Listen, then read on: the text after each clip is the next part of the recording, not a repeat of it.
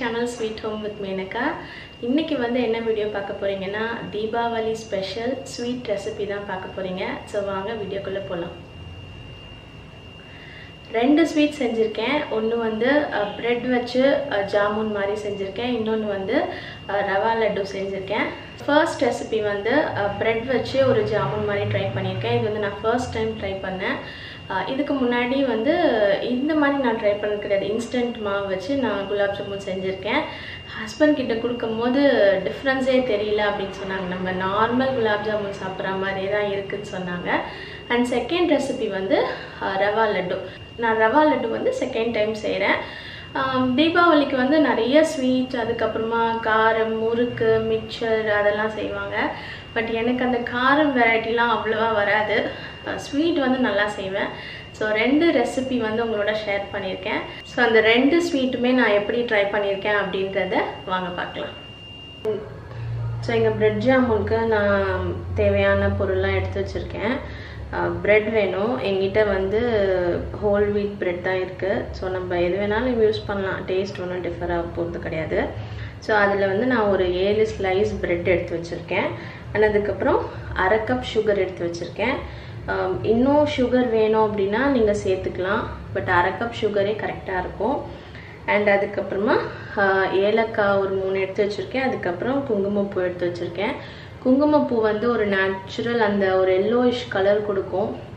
அந்த ஜீரா பண்ண போகிறோம் இல்லையா? ஸோ அதுக்கு வந்து கலர் நல்லாயிருக்கும் வேணால் நம்ம ஃபுட் கலர் கூட யூஸ் பண்ணலாம். பட் அதை விட இது வந்து ரொம்ப நேச்சுரலாக இருக்கும். ஸோ அதனால் நான் எடுத்து வச்சுருக்கேன். அண்டு கொஞ்சம் ஸ்பெஷலாக இருக்கிறதுக்காக கொஞ்சம் டேஸ்ட் என்ஹான்ஸ் பண்ணி கொடுக்கும். இந்த ரோஸ் எசன்ஸ் இருக்கு இல்லையா? இது வந்து குலாப் ஜாமுனில் ஆட் பண்ணலாம். நல்லாயிருக்கும் ஒரு கொஞ்சமாக ஒரு ஒரு ஒரு ட்ராப்பில் ரெண்டு ட்ராப் அவ்வளோதான் உங்களுக்கு வந்து அந்த டேஸ்ட்டை வந்து என்ஹான்ஸ் பண்ணி கொடுக்கும். அண்ட் அதுக்கப்புறமா அவ்வளோதான் தண்ணி அப்புறம் டீப் ஃப்ரை பண்ணுறதுக்கு ஆயில் வேணும். ஸோ அவ்வளோதான் இதை வந்து ஃபஸ்ட்டு என்ன பண்ண போகிறோம் நம்ம இந்த கார்னர்ஸை கட் பண்ணிவிட்டு மிக்சியில் போட்டு ஓ- ஓட்டிக்கலாம். ஸோ அப்போ வந்து நமக்கு ஈஸியாக பால்ஸ் வந்து உருட்ட ஈஸியாக இருக்கும். ஸோ இப்போ இதை நான் கட் பண்ணிக்கிறேன். ஸோ கட் பண்ணுறதுக்கு முன்னாடி நம்ம ஜீராக்கு வந்து சர்க்கரையை போட்டு வச்சிட்டோம் அப்படின்னா அது பாட்டுக்கு ஆயிட்டுருக்கும். ஸோ அரை கப் சர்க்கரை. சர்க்கரை மூழ்கிற அளவுக்கு தண்ணி விட்டால் போதும். ரொம்ப தண்ணி விட வேண்டாம்.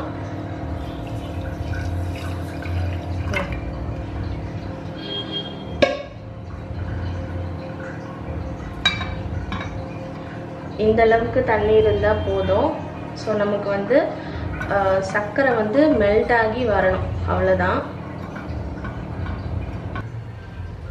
சுகர் மெல்ட் ஆகிறதுக்குள்ளே நம்ம வந்து ப்ரெட்டை வந்து ரெடி பண்ணிக்கலாம்.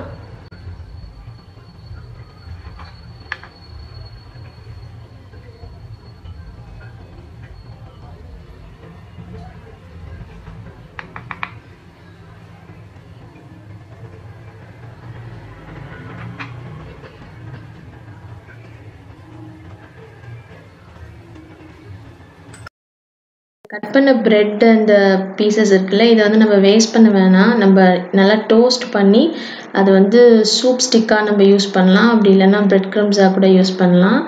ஒரு சின்ன டிப் அண்ட் அதுக்கப்புறமா இந்த ப்ரெட்டெல்லாம் கட் பண்ணிவிட்டு நம்ம மிக்சியில் ஒரு ஓட்டு ஓட்டிக்கிட்டோம் அப்படின்னா நமக்கு வந்து பால்ஸ் உருட்டுறதுக்கு வந்து கொஞ்சம் ஈஸியாக இருக்கும்.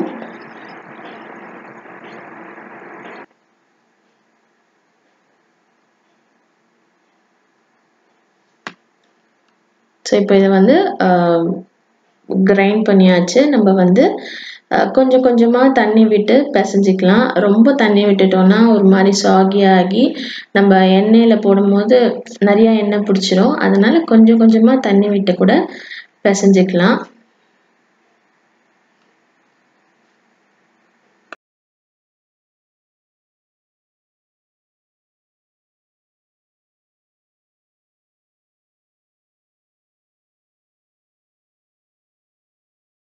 ஸோ அது பிரெட் பிரெட் க்ரம்ஸுன்றதுனால ரொம்ப அதாவது நிறைய தண்ணி உறிஞ்சிரும்.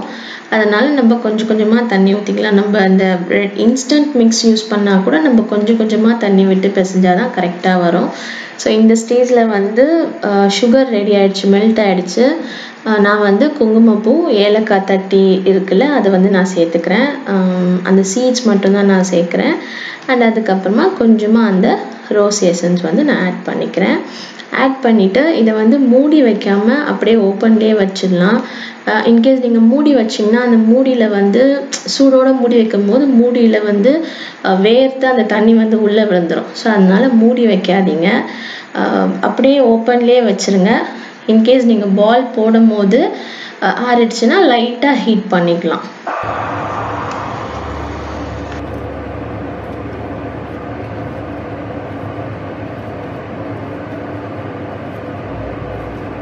இப்போ வந்து இதை பால்ஸ் மாதிரி உருட்டிக்கலாம். உங்களுக்கு எந்த சைஸில் வேணுமோ அந்த சைஸில் உருட்டிக்கலாம். பட் ஆனால் வந்து பட் ஆனால் வந்து கிராக் இருக்கக்கூடாது. கிராக் இல்லாமல் நம்ம வந்து நல்லா ப்ரெஷர் கொடுத்து உருட்டிக்கணும். ஸோ கிராக் இருந்துச்சு அப்படின்னா நம்ம எண்ணெயில் போடும்போது ஒரு மாதிரி வீரில் விட்டுரும் ஸோ கிராக் இல்லாமல் ஸோ கிராக் இல்லாமல் இந்த மாதிரி நல்லா உருட்டிக்கணும்.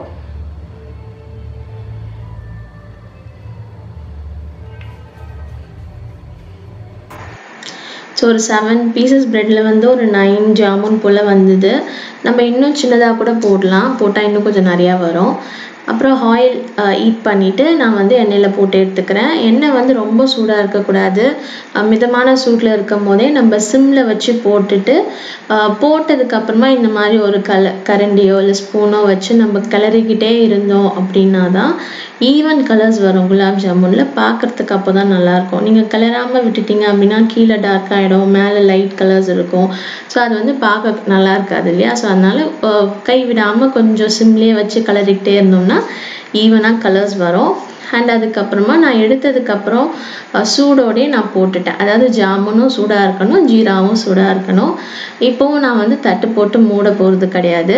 ஒரு டூ ஹவர்ஸ் கா நல்லா ஊறினா தான் உங்களுக்கு வந்து நல்லாயிருக்கும் ஊற ஊற தான் இந்த ஜாமுன் வந்து நல்லாயிருக்கும் ஸோ பார்க்கவே எவ்வளோ அப்பிடைசிங்காக இருக்குல்ல? சாஃப்ரான் வந் சாஃப்ரான் போட்டதுனால ஜீரா ஒரு மாதிரி எல்லோயிஷ் கலரில் அதுக்கப்புறம் ஜாமுன் வந்து ரொம்ப அழகாக கோல்டன் ப்ரௌன் கலரில் சூப்பராக இருக்குது ஸோ ப்ரெட் வச்சு நான் ட்ரை பண்ணதில்லை இது வரைக்கும். இதான் ஃபர்ஸ்ட் டைம் நீங்களும் ட்ரை பண்ணி பாருங்கள் ஸோ இப்போ செகண்ட் ஸ்வீட் ரவா லட்டு எப்படி பண்ணலான்றதை பார்க்கலாம். ஸோ அதுக்கு இன்க்ரீடியன்ஸ்லாம் எடுத்து வச்சுருக்கேன். ரொம்ப சிம்பிளான இன்க்ரீடியன்ஸ் தான். பட் ஈஸியாக பண்ணிடலாம்.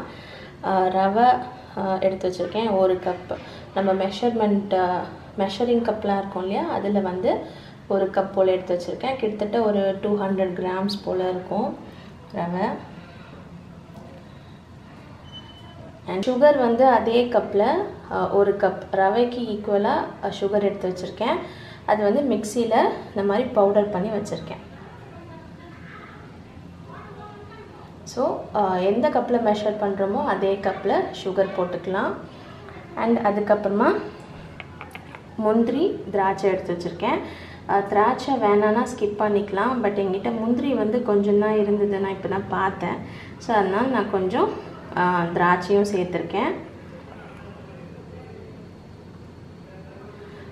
கேஷ்யூ வந்து கட் பண்ணி வச்சுருக்கேன். அண்ட் அதுக்கப்புறமா நெய். நம்ம நெய் போட்டு தான் உருண்டை பிடிக்க போகிறோம் ஸோ அதனால் நெய் கொஞ்சம் எக்ஸ்ட்ரா தேவைப்படும். நெய் இல்லைன்னா பால் ஊற்றிக்கலாம் நான் வந்து நெய் யூஸ் பண்ணுறேன் ஸோ இன்க்ரீடியன்ஸ் இவ்வளோ தான் நம்ம வேணும்னா ஏலக்காய் பொடி சேர்த்துக்கலாம். நான் சேர்க்கல. ஸோ இதை வச்சு தான் நம்ம பண்ண போகிறோம் ஸோ வாங்க எப்படி பண்ணலான்றதை பார்க்கலாம். ஸோ ஃபஸ்ட்டு வந்து நம்ம um, ரவையை வறுத்துக்க போகிறோம் ஸோ இதில் வந்து நம்ம ரவையை வந்து தனியாக குக் பண்ண போகிறது கிடையாது. இந்த மாதிரி வறுத்தே தான் நம்ம குக் பண்ண போகிறோம் ஸோ அதனால் சிம்லேயே வச்சு நம்ம இந்த ப்ராசஸை வந்து ஸ்டார்ட் பண்ணலாம். ஸோ நெய் போட்டுட்டு நான் வந்து முந்திரி திராட்சை போட்டு லைட்டாக வறுத்துக்கிறேன். அண்ட் அதே நெய்யில் வந்து நான் ரவையும் போட்டு நல்லா வறுத்துக்க போகிறேன் முந்திரி வந்து நல்லா ரோஸ்ட் ஆகணுன்ட்டு இல்லை. அது ஒவ்வொருத்தவங்களோட பர்சனல் டேஸ்ட்டை பொறுத்து. அண்ட் ரவையை போட்டதுக்கப்புறமா சிம்லேயே வச்சு நல்லா வறுக்கணும். உங்களுக்கு அந்த நெய்யில் ரவை வறுக்க வறுக்க ஒரு மாதிரி வாசனை வரும். ரவையோட ஸ்மெல் வரும். ஸோ அது வரைக்கும் நம்ம வந்து கைவிடாமல் வறுத்துக்கிட்டே இருக்கணும். கை விட்ட விடாமல் கை விட்டுட்டே கொஞ்சம் தூரம் அப்படி போயிட்டோம்னா ரவை வந்து கலர் சேஞ்ச் ஆகிடும் ஸோ இப்போ பார்த்தீங்கன்னா ஒரு மாதிரி தனித்தனியாக இருக்கும் ரவை. ஸோ அந்த ஸ்மெல் உங்களுக்கு தெரியும். அது வரைக்கும் நம்ம வந்து வறுக்கணும். ஸோ அந்த ஸ்டேஜ் வந்ததுக்கப்புறம் நான் வந்து ஸ்டவ்வை ஆஃப் பண்ணிவிட்டு இதே சூட்டில் வந்து நான் பவுடர் பண்ண சுகரை ஆட் பண்ணிக்கிறேன்.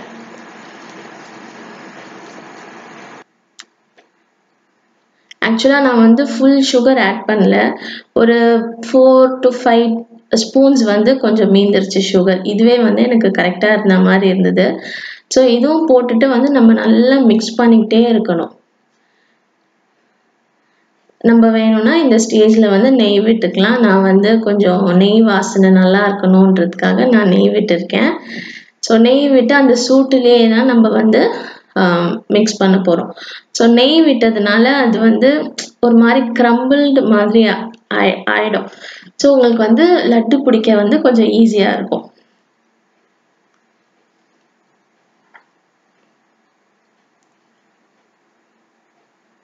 ஸோ இந்த மாதிரி நல்லா எல்லாம் ஈவனாக மிக்ஸ் ஆனதுக்கப்புறமா நான் வந்து ஒரு பிளேட்டில் கொட்டிட்டு நம்ம வந்து லட்டு பிடிக்க நான் ஸ்டார்ட் பண்ணுறேன் இன்கேஸ் வந்து இந்த ஸ்டேஜில் நமக்கு லட்டு வரலை அப்படின்னா நல்லா சூடான காய்ச்சின பால் வந்து கொஞ்சம் கொஞ்சமாக நம்ம மிக்ஸ் பண்ணி கூட லட்டு பிடிக்கலாம். அப்படி இல்லைன்னா சூடான நெய் காய்ச்சி கூட நம்ம வந்து நெய் ஊற்றி கூட லட்டு பிடிச்சிக்கலாம். அப்படி இல்லைன்னா ஹாட் வாட்டர் கூட கொஞ்சம் கையில் தொட்டு தொட்டு நம்ம வந்து பிடிச்சிக்கலாம் பட் அந்த ஏதாவது ஒன்று வந்து கொஞ்சம் ஹாட்டாக இருந்தால் தான் நமக்கு வந்து லட்டு பிடிக்கிறதுக்கு வந்து ஈஸியாக இருக்கும். சில்லுன்னு ஆயிடுச்சுன்னா நமக்கு வந்து உதிரி உதிரியாக உடஞ்சி போயிடும். ஸோ அதனால முடிஞ்ச வரைக்கும் ஹாட்டாக இருக்கும் போதே லட்டு பிடிச்சிக்கலாம். ஸோ எனக்கு வந்து ரவுண்டு ஷேப் அவ்வளோவா வரல. எல்லாமே கொஞ்சம் ஓவல் ஷேப் மாதிரி வந்துருச்சு. இட்ஸ் ஓகே நம்ம எப்படினாலும் கடிச்சு தானே சாப்பிட போகிறோம் நான் வந்து கொஞ்சம் நெய் அதிகமாக ஊற்றுனதுனால எனக்கு சாப்பிடும் போது அந்த நெய்யோட ஸ்மெல் ரொம்ப நல்லா இருந்துச்சு. அண்ட் காஞ்ச திராட்சை போட்டதும் ஒரு தனி ஸ்வீட்னஸ் கொடுத்துச்சு. நான் ஏன்னா நான் இதுக்கு முன்னாடி ட்ரை கிரேப்ஸ் போட்டது கிடையாது. வெறும் கேஷ்யூ நட் மட்டும்தான் போட்டிருக்கேன். இந்த வாட்டி கொஞ்சம் முந்திரி பருப்பு இல்லைன்றதுனால அது சேர்த்தேன் எக்ஸ்ட்ராவாக பட் அது வந்து இன்னும் டேஸ்ட்டாக இருக்குது ஸோ நீங்களும் கண்டிப்பாக ட்ரை பண்ணி பாருங்கள் ஸோ இப்போ ரெண்டு ஸ்வீட்டுமே பார்த்துருப்பீங்க. ஒன்று வந்து ஜாமுன் இன்னொன்று வந்து ரவா லட்டு. ரெண்டுமே நல்லா வந்துச்சு. இந்த ரெண்டு ரெசிபியுமே கண்டிப்பாக ட்ரை பண்ணி பாருங்கள் அண்ட் தீபாவளிக்கு ரொம்ப சிம்பிளாகவும் இருக்கும். ரொம்ப சிம்பிளான இன்க்ரீடியன்ஸ் தான் வீட்டில் இருக்கிறத வச்சு நம்ம ஈஸியாக பண்ணிடலாம். ஸோ இதுக்கப்புறமும் இன்னொரு ரெசிபி இன்னும் எனக்கு தெரிஞ்ச ஒரு ரெண்டு மூணு ஸ்வீட் ரெசிபிஸ் வந்து நான் கண்டிப்பாக அப்லோட் பண்ணுறேன் ஸோ அவ்வளோதான் இந்த வீடியோ ரெசிபி பிடிச்சா ட்ரை பண்ணுங்கள் வீடியோ பிடிச்சா லைக் பண்ணுங்கள் இன்னும் சப்ஸ்கிரைப் பண்ணலாம் சப்ஸ்கிரைப் பண்ணிக்கோங்க. அண்ட் இன்னொரு ஸ்வீட் ரெசிபி வீடியோவில் உங்களை பார்க்குறேன்.